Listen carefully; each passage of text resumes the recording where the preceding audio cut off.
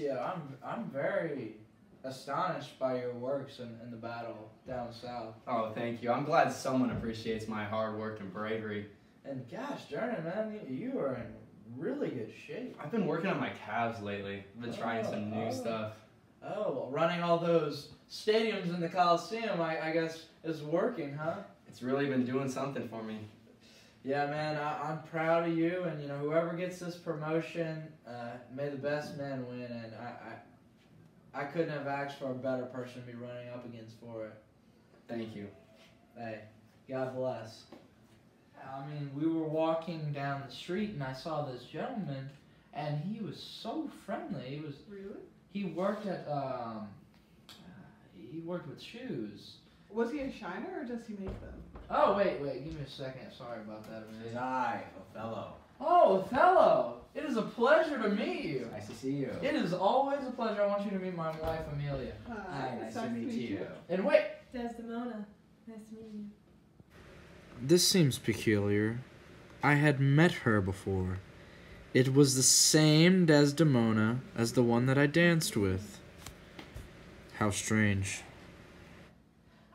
How are you, Othello? How are you? Good, how are you? Um, you know, I'm just really anxious about this promotion. You know, such a qualified young man Cassio mm-hmm. is, and you know, I really props to you all these years that you've been in and have all mm-hmm. that experience. I, I just really appreciate what you've done for the Venetian people, mm-hmm. and it, it's just a, an honor to get to, to meet you and and it's awesome to, to see what works you've done for our people. You know, we wouldn't have won countless battles if it weren't for your great leadership. And with that being said, it, it's just a pleasure to get to meet you, and we've met before. Iago, I really appreciate your attention to detail. I mean, like when you see a soldier that's screwed up, you're automatically able to just tell them what's wrong. That attention to detail is what we need. It's what helped us win the Eastern Mediterranean battle.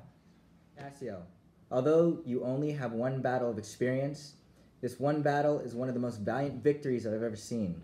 You went into the flames to rescue your men, dragging their bodies one by one. The heroism that you have shown has earned you the promotion to lieutenant. The heroism that you have shown has earned you the promotion to lieutenant. Huh? What did I do wrong? How is Othello reaching this conclusion? Why? Why not me? When looking at the rich and happy boys, while I stacked bricks in Venice, why not me?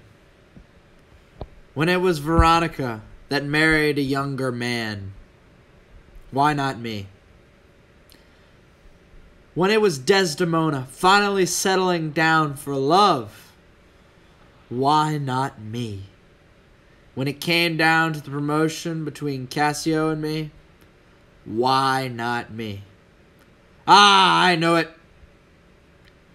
I must change if I want to be free.